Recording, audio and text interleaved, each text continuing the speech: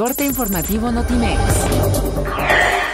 El presidente Enrique Peña Nieto aseveró que el gobierno federal seguirá mostrando su mayor interés por respaldar el desarrollo de los pueblos indígenas durante la firma de un convenio de concentración entre la Comisión Nacional para el Desarrollo de los Pueblos Indígenas y la Fundación Patrimonio Indígena MX. Luego de quedar en segundo lugar en las votaciones de Florida, el senador republicano Marco Rubio abandonó la carrera presidencial, con lo cual deja prácticamente el camino libre a Donald Trump para obtener la nominación a la candidatura presidencial. Por el lado de los demócratas, Hillary Clinton también logró una amplia victoria en Florida sobre el senador Bernie Sanders.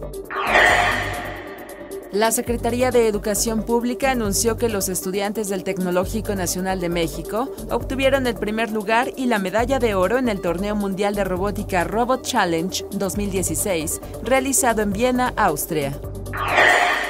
El viceministro de Defensa, Nikolai Pankov, anunció que Rusia seguirá bombardeando objetivos terroristas en Siria, pese a la retirada de la mayor parte de sus fuerzas de la zona.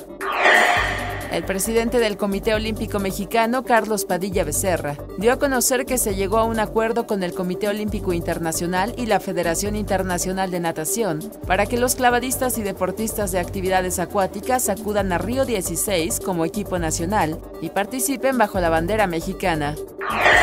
Los restos del Premio Nobel de Literatura 1971, Pablo Neruda, regresarán a la Casa Museo de la localidad costera de Isla Negra el próximo 26 de abril, luego de que fueran exhumados hace tres años por una orden judicial.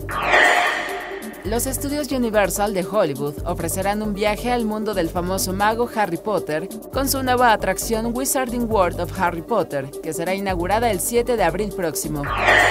Notimex. Comunicación Global.